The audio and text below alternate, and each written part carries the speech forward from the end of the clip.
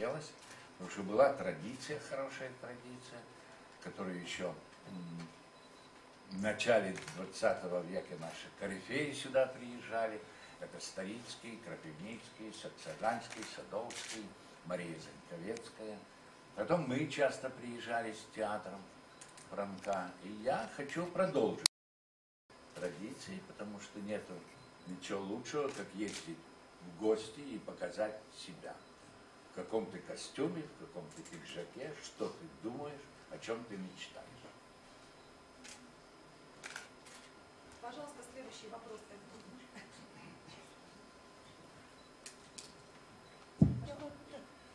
Балтийские сезоны э, Алексеева. Мы помним ваши гастроли э, с дядей Ваней. Да, в 82 году. Замечательный был у вас э, Сивченко. Сывченко. И очень жалко, что сейчас нет Чехова. Э, Вы планируете кого-нибудь еще сыграть? Знаете, я уже, мне в этом году 50 лет, как я на сцене, я так накричался, я так наорался, я играю какие-то, знаете, я хочу комедию сыграть, а играю трагические роли, и Лира я играл, и Ричарда Третьего, и Ивана Петровича Войницкого, и Треплева, и у Миколу Задорожного в «Украденном счастье». Вот моя мечта сыграть без слов. Ищу драматургию. Как сказала моя мама, Царство Небесное, говорит, ну хватит тебе уже столько говорить на сцене.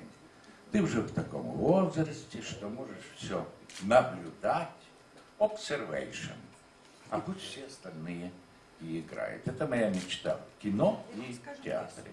Да. Чехова, значит, мы поставили чайку со своими студентами. Это четвертый курс, и мы чайку начали э, реализовать на первом курсе. И вот только на четвертом курсе, это очень тяжелый материал, все мне говорили, это не надо делать, надо с каких-то более простых пьес. А тут мы взяли чайку. И вот на четвертом курсе, наконец-то, более-менее что-то что-то получилось. Я думаю, что без Чехова очень трудно и студентам актерского факультета, и уже состоявшимся артистам. Пожалуйста, следующий вопрос. Кто готов? Давайте. Елена Серова, Радио России. Богдан Сильвестрович, скажите, пожалуйста, были ли у вас, как у руководителя театра, наблюдения, как меняется, например, востребованность какого-либо спектакля от тех событий, которые происходят вне театра?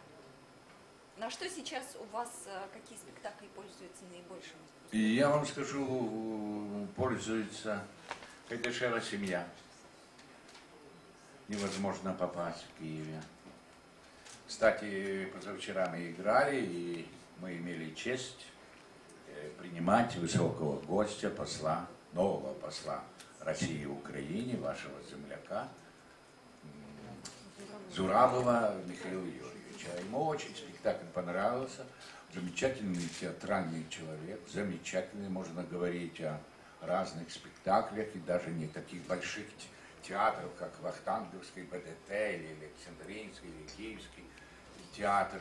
Он много э, посещает такие театры, где делает крайние, может быть, эксперименты, но эксперименты нужны, потому что без эксперимента нету никакого прогресса.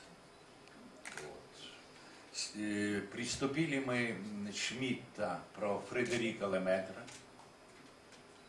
знаменитого французского актера. Будем играть Грека Зорбу. Помните фильм? Был греческий фильм. Буря Шекспира. Интересно нам поставить э, забытые украинские романсы конца 19-го, начала 20 века. Вот это мы сейчас находим, эти романсы. Романсы, переходящие в песни, а песня переходит в романс. И сделаем такие два периода. Э, Львовский период декаданса и киевский период. Это будет э, сюжет, сами мы придумываем. Все это и надеемся на хороший результат. Вот эти вот э, пьесы у нас плане. Я, например, мечтаю сыграть э, и сыграть, но есть такой вариант, Евгения Онегин.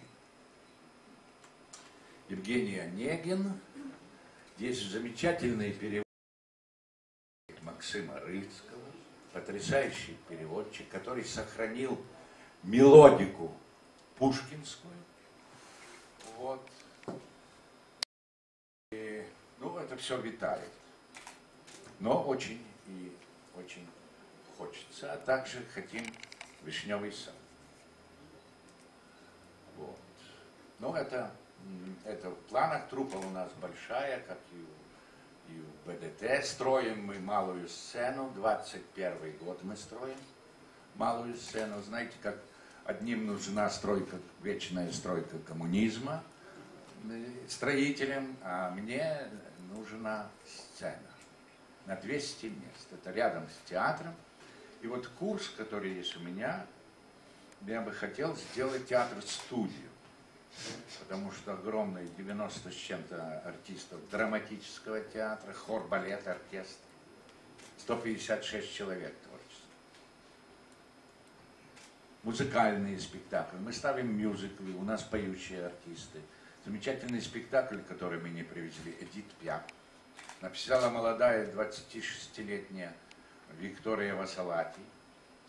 Прекрасный спектакль, она сама исполняет. Эдит Пьяк. Музыки Эдит Пьяк нет, она написала. Замечательные мелодии. Может быть, в другой раз и привезем.